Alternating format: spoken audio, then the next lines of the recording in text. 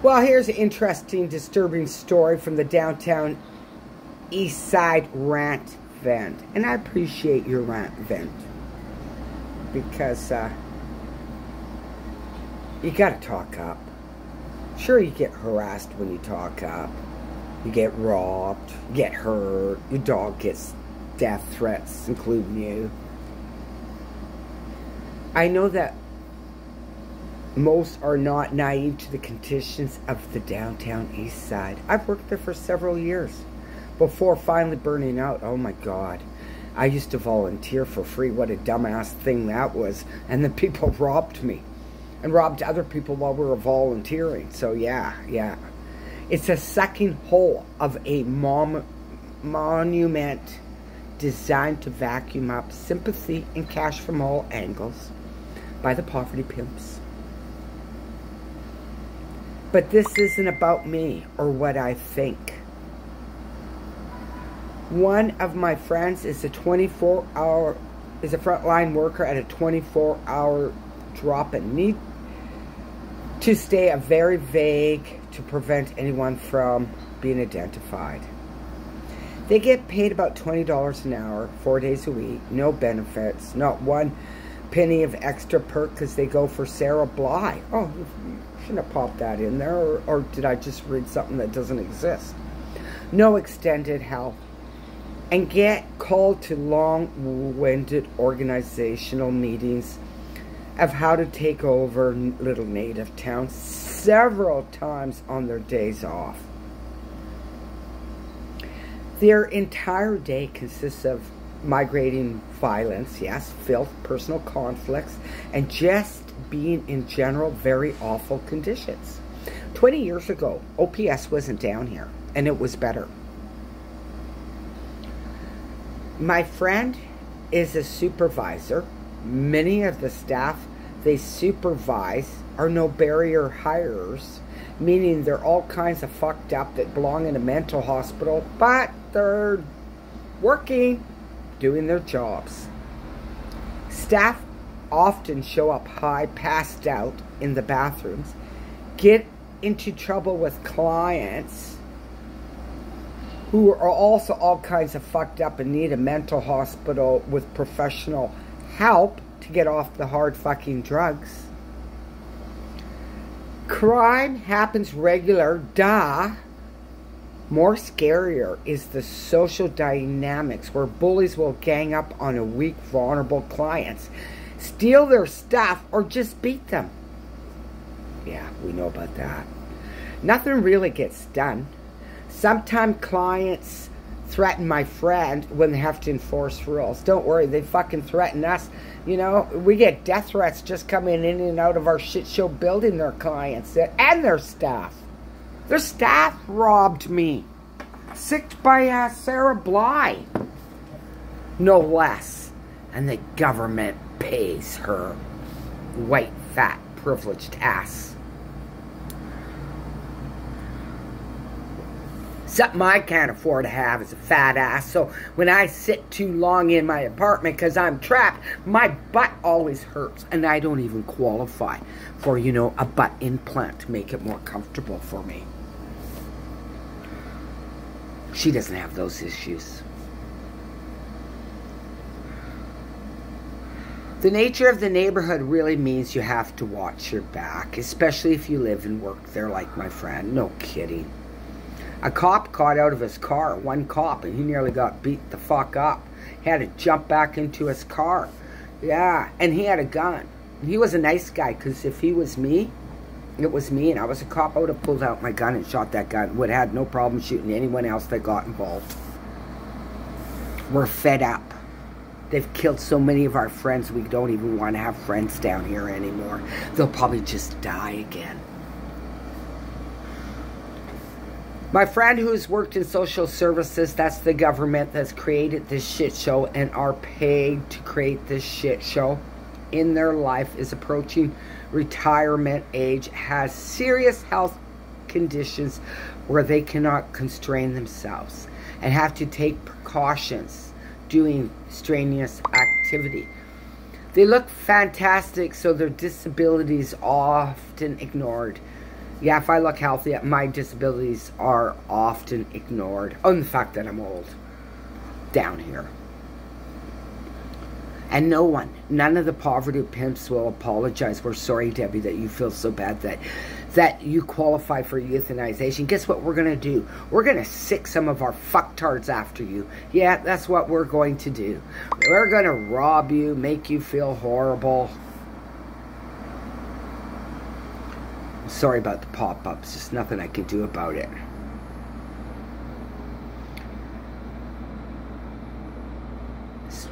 They are put in situations that can be fatal. Of course they are. Their employee does nothing to make sure that they are not put in positions where they are forced to exert themselves. There is a severe staff shortage. Oh my God, they should be nice to people like me so that we could get paid 20 bucks an hour part time. You know, but no, it's too dangerous for us to go in there. So it's all hands on deck, trained or untrained, high or sober. And you know what else? Those fucktards came on to druggies. Probably Sarah Blyth opened up a, a real quick YouTube channel, but it was one of the oops people without a doubt because you know why they were defending Trey like the man can't defend himself. But he can stalk women, a senior citizen woman. Put it on a secret you or a Facebook channel. Send his staff after me. Oh yeah. Really pathetic. And when that didn't work, he tried calling me racist. A German Jewish person that qualifies for euthanization Canada. Yeah, you're you're a fucking racist. I'm not even a white privileged person. I I do not have white privileged anything. I don't have East Indian privilege. They got more privilege than me. China town over there's got more privilege than me. Hell, Ukraine migrants have more privilege than me. I don't have any privilege. That's why I suffer every day. My favorite position, favorite thing to do downtown East Side Vancouver is sleep. That's the only time that I don't feel anything or any pain is sleep. They recently described pretty much how all lower management and staff are quitting due to extreme shitty conditions to the extreme, oh, sorry, I'm rereading that, and poorly run Deftone administration who barely knows what happens on the floor. So they don't even have downtown east side, their basic work safe. Any one of these people could be phoning work safe. Now, I'm sorry, I'm really sick. So yeah, the the city, the government funds these people because they want us dead. It's the only reason why they would fund these people. They look at the figures and see the death rate and they throw more fire on the fucking fire. Oh, and take away our uh, fire code. They recently described pretty well, okay, yeah, read that. As a result, these mass quittings is more organizational meetings held on my friend's day off. And they don't get paid to attend. Oh, they get paid to attend. Oh, they do? Okay. Because I had to go to meetings when I was a salesperson. And we didn't get paid to attend. Sometimes we get free drinks and free food, but that's it. They get paid to attend, but straight after shifts in a war zone, it is a war zone, days off must be respected. Oh, absolutely, buddy. Days off have to, you have to have recuperating time. First of all, you're entering a demonic energy, which is totally different than what most people can handle, unless you are a true demonic, you know? And you promote that shit. Which I'm sure Sarah Blyth does. I've, I've caught her lots my friend hardly has any energy to take care of themselves or their family who depend on them. We know that's not Trey. It seems that even though all nonprofits are lined up within a six to eight city blocks, they don't know who their neighbors are. Yeah, oh, actually, they do, and they harass us if we talk back. Okay? Harass us, rob us, stab us. Every time I talk to my friend, it's another fucked up story. Just like my YouTube channel. Involving knives, needles, setting fires. What did I tell you guys? We don't have a fire code down here. Broken bottles, shit. So much feces. Oh, they made me sick for three years. I have a flop in my stomach that doesn't work. I could have had an operation, but all my life, no doctor could actually diagnose it.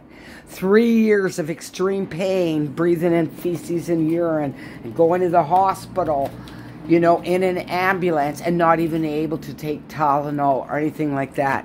Vomiting for three years, fucked up my teeth, and not one of the poverty pimps can say sorry that created it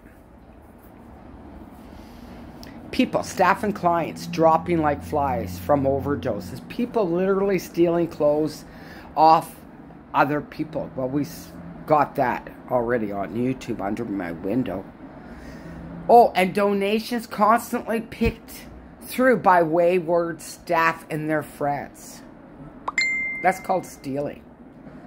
My friend's eight hour day sounds like a war zone. No wonder why when they have a fire over there, I get mad at the firemen. You know? Government's paying for them to torture us.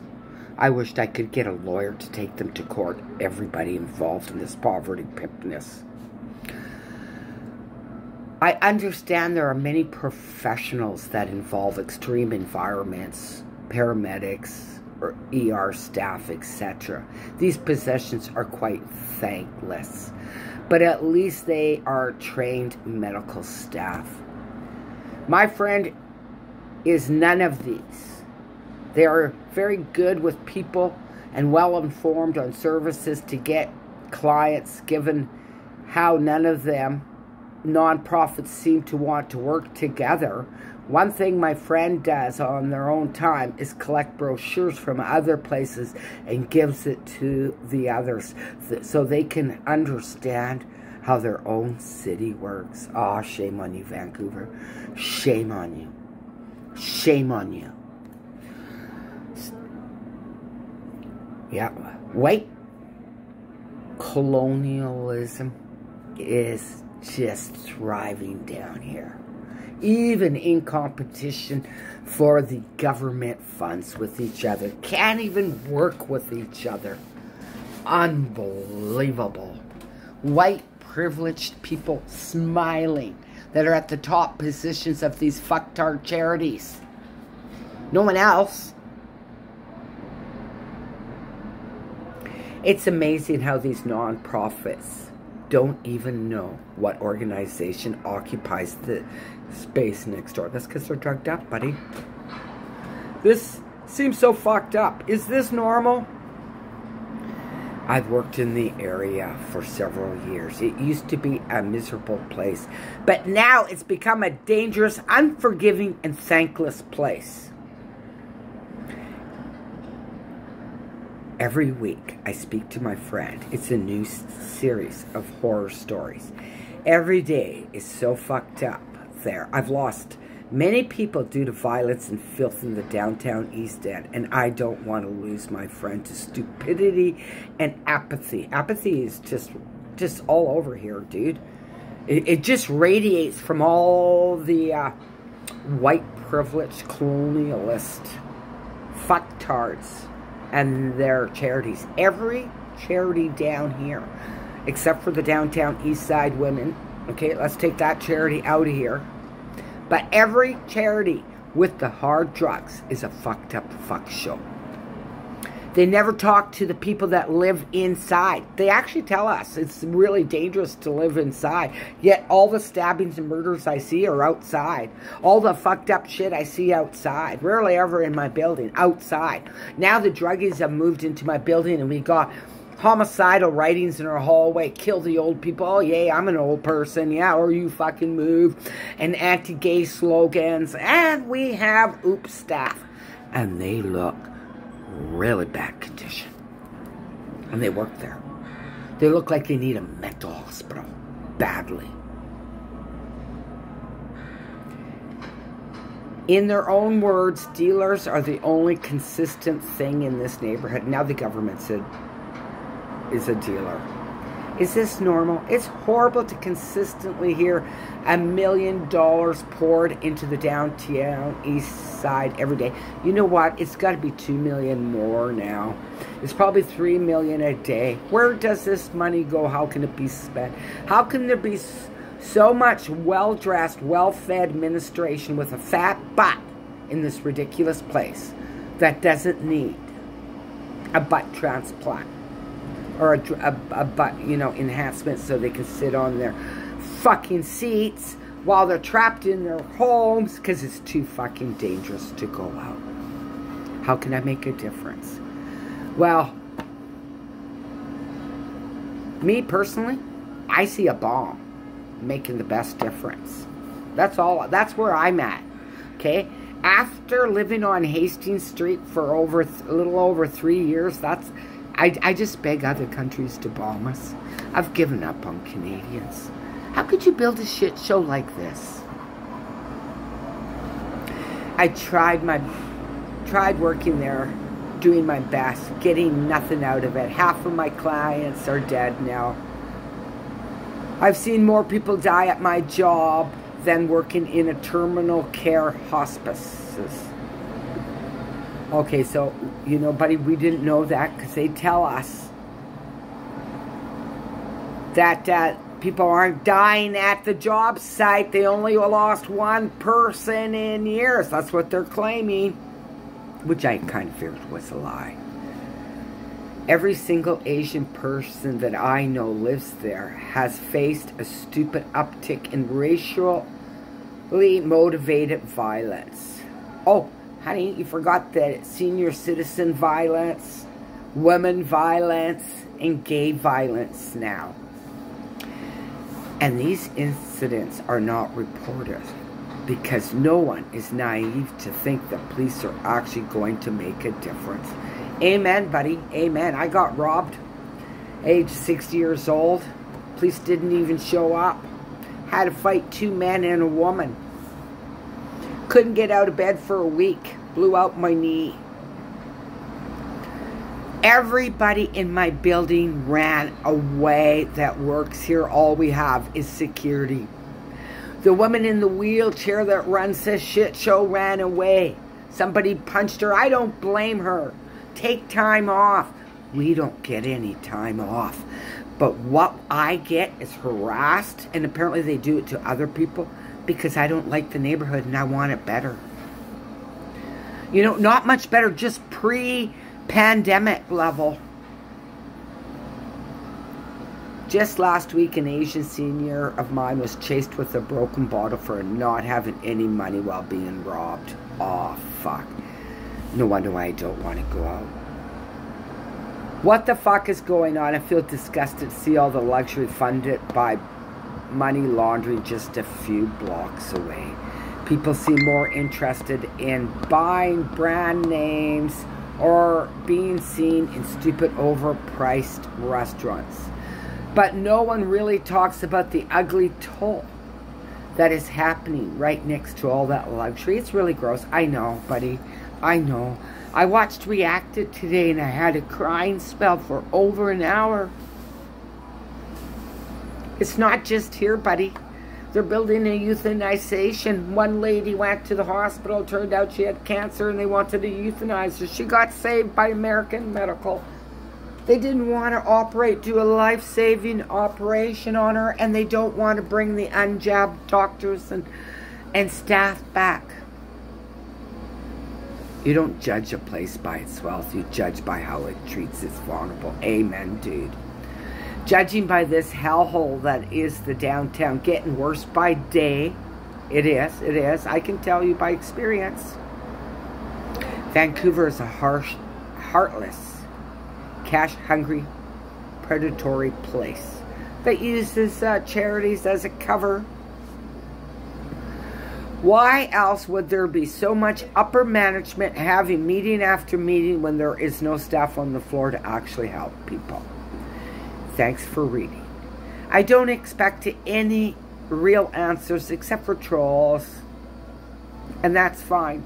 Better troll online than be a real troll leeching non-profit funding in the shittiest neighborhood in the country, which is Canada. Thank you from all for sharing.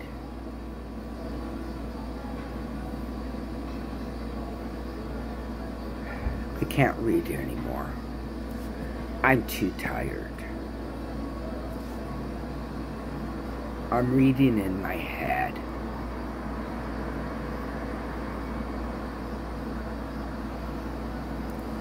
But I'm going slow so you can read.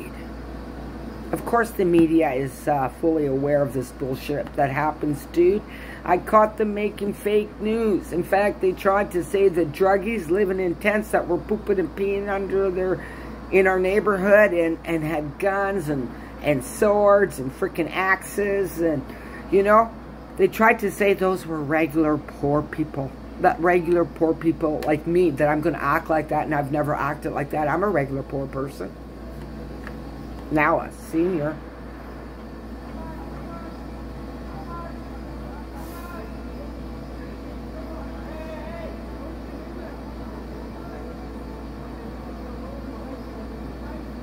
Oh, Somebody gave me a like.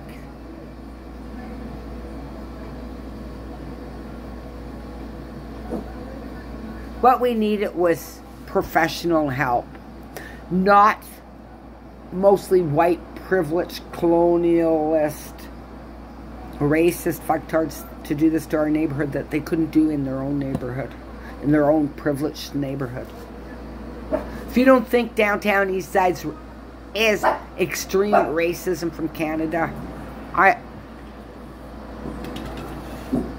think you haven't done enough research. Or you're in complete denial.